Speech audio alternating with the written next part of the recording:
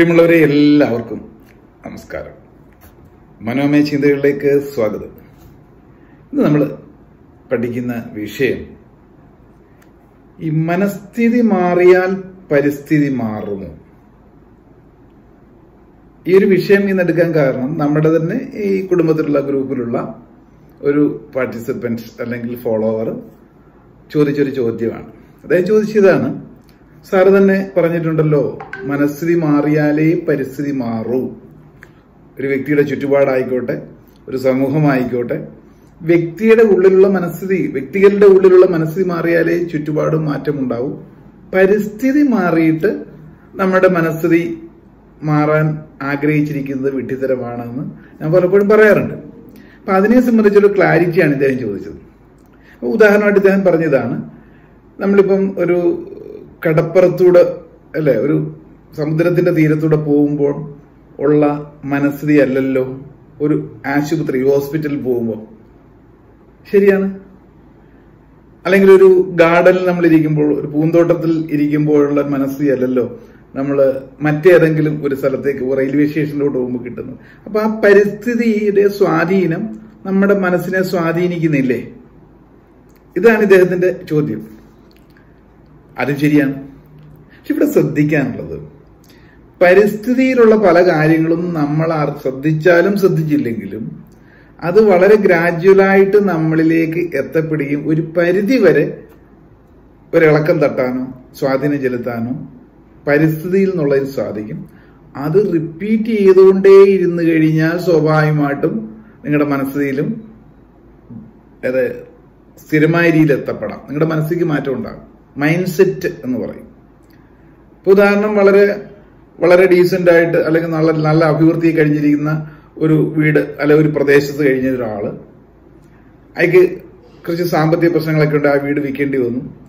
വളരെ റിമോട്ട് ഏരിയയിൽ അല്ലെങ്കിൽ ഒരു ചേരി പോലുള്ള പ്രദേശത്ത് എപ്പോഴും തല്ലും വെട്ടും കുത്തും വഴക്കും ഒക്കെയുള്ള ഒരു പ്രദേശത്ത് അദ്ദേഹത്തിന് താമസിക്കേണ്ടി വന്നു കുറച്ച് നാൾ കുടുംബത്തോടൊപ്പം. പിന്നീട് ശേഷമാളും കുറെ നാൾ നമ്മൾ കാണുന്നതും കേൾക്കുന്നതും ഒക്കെ ആ ഒരു എൻവയോൺമെന്റിന്റെതാണെങ്കിൽ അത്തരത്തിലുള്ളൊരു സ്വാധീനം ആ പരിസ്ഥിതിയുടെ ഇദ്ദേഹത്തിന്റെ മനസ്സിനെയും ബാധിക്കാം. നേരെ തിരിച്ചു. വളരെ ദുസ്സഹമായ കാലാവസ്ഥയിൽ സാഹചര്യത്തിൽ കഴിഞ്ഞ ഒരാൾക്കും അവിടുന്ന് ഷിഫ്റ്റ് ചെയ്ത് മറ്റൊരു സ്ഥലത്തേക്ക് മാറി താമസിക്കാനും ചിന്തിക്കാനും ഒക്കെ ഇടയായി കഴിഞ്ഞാലോ നല്ല ഒരു അഭിവൃദ്ധിയിലേക്കും ആകുകയും ചെയ്യും. അപ്പൊ പരിസ്ഥിതി ഒരു പരിധിവരെ സ്വാധീനിക്കുന്നുണ്ട്. പക്ഷെ ഇവിടെ പ്രശ്നം അതല്ല. നമ്മുടെ സ്ഥായിയായ സ്ഥിരമായ പല മനസ്ഥിതികളും അതിന് മാറ്റം ഉണ്ടാകാൻ തൽക്കാലത്തേക്ക് നമ്മൾ ഈ മനസ്സിന്റെ സ്ഥിതിയെ മാറ്റാൻ ഒരു ടൂർ പോയേക്കാം എന്ന് വിചാരിച്ചാൽ തൽക്കാലത്തേക്ക് കിട്ടുമായിരിക്കും. എന്നാൽ ഇപ്പോഴുള്ള മാനസികാവസ്ഥ വളരെ സംഘർഷമാണ്. നമ്മളൊരു കടൽക്കരയിൽ പോയി ഇരുന്ന് ശാന്തമാകുന്നിരിക്കുമ്പോഴും നിങ്ങൾ ആ പ്രശ്നത്തെപ്പറ്റി ആലോചിച്ച് അകത്ത് നടക്കുകയാണല്ലോ. ഈ മനസ്സിലേക്ക് മാറ്റം പരിസ്ഥിതിക്ക് മാറ്റം പുറമേ ഉണ്ടെങ്കിലും അകത്ത് മാറ്റം ഉണ്ടാകുന്നില്ല. അപ്പൊ വേണ്ടത് എന്താണെന്ന് ചോദിച്ചാൽ നമ്മുടെ എല്ലാവരുടെയും ഉള്ളിൽ ആത്മാ എന്ന് പറയുന്ന ഒരു ശക്തിയുണ്ട്. അതിലേക്ക് ആവർത്തിച്ച് നിരന്തരം കൊടുക്കുന്ന ഏത് സന്ദേശവും അത് അതേപോലെ തന്നെ ആയിത്തീരും. ഇപ്പൊ ചുറ്റുപാടുകൾ എന്ത് തന്നെ ആയിക്കോട്ടെ നമുക്ക് വേണ്ടതിനെ സ്ഥിരമായ രീതിയിൽ റെഗുലറായി പോസിറ്റീവായിട്ടുള്ള കാര്യങ്ങളെ ആവർത്തിച്ച് ഞാൻ എന്നിലേക്ക് കടത്തുന്നത് അതാണ് എന്നൊരു ദൃഢനിശ്ചയത്തോടുകൂടി കൊടുത്താലോ? മെജോറിറ്റി എന്ന് പറയുന്നത് നമ്മുടെ ആത്മാവിന്റെ ഭാവം എന്ന് പറയുന്നത് എന്തായിട്ട് മാറുന്നു? ഒരു പോസിറ്റീവ് തലത്തിലോട്ട് എത്തിക്കഴിഞ്ഞാൽ പിന്നീട് ചുറ്റുപാടുള്ള എൻവയോൺമെന്റ് പരിസ്ഥിതി എന്താണേലും നമ്മളെ ബാധിക്കില്ല. നിങ്ങൾ അത്രത്തിൽ നല്ല ഒരു മനസ്സിലുള്ള രൂപാന്തരപ്പെട്ട വ്യക്തിയാണെങ്കിലോ നിങ്ങളുടെ ചുറ്റിനും അത് റിഫ്ലക്ട് ചെയ്യുകയും ചെയ്യും. അങ്ങനെ സ്ഥിരമായ രീതിയിൽ പരിസ്ഥിതിക്ക് മാറ്റം ഉണ്ടാവും.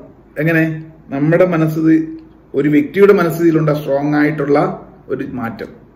ഒരു വീട്ടിൽ നാല് പേരുണ്ടെങ്കിൽ അതിൽ ഒരാൾക്ക് ശക്തമായ രീതിയിലുള്ള ഒരു മന- മാനസിക പരിവർത്തനം മനസ്സിൽ മാറ്റം വന്നാൽ ആ വ്യക്തിയെ സംബന്ധിച്ച് അവർ കംഫർട്ടാണ് ആരൊക്കെ എങ്ങനെയൊക്കെ പെരുമാറി എന്ന് പറഞ്ഞാൽ അവർ ചിരിച്ചുകൊണ്ടിരിക്കും. ഇരുട്ടിലടഞ്ഞ പ്രദേശത്ത് ഒരു മെഴുകുതിരി കത്തിച്ച് ഒരു വിളക്ക് കത്തിച്ച് വെച്ചതുപോലെ ചുറ്റും അവർക്ക് ചുറ്റും കൂടുതൽ പ്രഭ വരും ചുറ്റുപാടും ഉള്ളവർക്കും ആ വെട്ടത്തിൽ ഒരു ആശ്വാസം കിട്ടുന്നു. ഇപ്പൊ ഒരാളുടെ മനസ്സിൽ എല്ലാ ദിവസവും വൈകിട്ട് നല്ലോണം പ്രാർത്ഥിക്കണം. കുടുംബത്തിലുള്ള മറ്റുള്ളവർക്ക് അങ്ങനെ പതിവൊന്നുമില്ല. തന്നല്ല അതിനോട് ദേഷ്യമാണ്. അവർ ആ സമയം ടി വി വെച്ചുകൊണ്ടിരിക്കും മൊബൈൽ വെച്ചുകൊണ്ടിരിക്കും. പക്ഷെ എന്നാലും ഈ ഒരു വ്യക്തിയുടെ മനസ്സിൽ സ്ഥായിയായ രീതി എനിക്ക് വൈകിട്ടോ അല്ലെങ്കിൽ രാവിലെ സ്ഥിരമായി പ്രാർത്ഥിക്കുന്ന അല്ലെങ്കിൽ മെഡിറ്റേറ്റ് ചെയ്യുന്ന മറ്റ് നല്ല കാര്യങ്ങൾ ചെയ്യുന്ന ഒരു മനസ്ഥിതിയാണെങ്കിൽ മറ്റുള്ളവർ കാണുന്ന അവർ ശ്രദ്ധിക്കുന്നുണ്ടെങ്കിലും അവർ ഉള്ളുകൊണ്ട് ഒരു റെസ്പെക്റ്റും ഈ വ്യക്തിയോടുള്ള ഒരു മതിപ്പുമൊക്കെ പുറത്ത് പറഞ്ഞില്ലെങ്കിലും അകത്തുണ്ടാവും. അങ്ങനെ ഗ്രാജുവലി അങ്ങനെ ശ്രദ്ധിക്കപ്പെടുമ്പോൾ സംഭവിക്കുന്നു? അവരിലേക്കും കുറേയൊക്കെ അതിന്റെ ലാഞ്ചന എത്തുന്നു എന്നുള്ളതാണ്. ഞാനിത് പറയുമ്പോൾ ഓർക്കുന്ന ഒരു സന്ദർഭം പറഞ്ഞ പെട്ടെന്ന് നിങ്ങൾക്ക് മനസ്സിലാവും. ഒരു ഗ്രാമപ്രദേശമാണ്. അവിടെ എല്ലാ ദിവസവും വൈകിട്ട് എട്ട് മണിയാകുമ്പോൾ പവർ കട്ടാണ് ഒരു മണിക്കൂർ എട്ട് തൊട്ട് ഒമ്പത് മണി വരെ ആ ഗ്രാമപ്രദേശത്തുള്ള ആൾക്കാർക്ക് ഞാൻ നേരത്തെ പറഞ്ഞ പോലെ മൈൻഡ് സെറ്റ് ഉണ്ട്. ആര് വേണേ എങ്ങനെ വേണേക്കെ ആയിക്കോട്ടെ. ആരുടെ കാര്യത്തിൽ ഇടപെടുന്നില്ല. അവിടെ പ്രധാനപ്പെട്ട ഒരു സ്ട്രീറ്റ് ഉണ്ട്. അത് അധികം റോഡൊന്നുമല്ല ഒരു നാട്ടുവഴിയാണ്. നല്ല വീതിയുള്ള നാട്ടുവഴിയാണ്. അവിടെയുള്ള ആൾക്കാർ എപ്പോഴും മറ്റുള്ളവരെ കുറ്റം പറഞ്ഞു.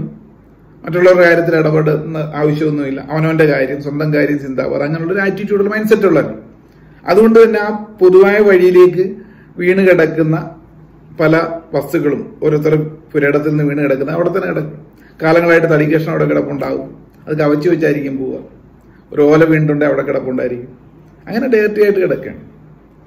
ഈ രണ്ട് സൈഡിലുള്ള വേലികളിൽ നിന്നും പടർന്ന പന്തലിപ്പെല്ലാം ആ വഴിയിലോട്ട് ഇങ്ങനെ ഞാൻ കിടക്കും. അതിനിടെ കുനിഞ്ഞൊക്കെ ആൾക്കാർ ഒന്ന് ഒടിച്ചു മാറ്റി പോലും വെക്കില്ല.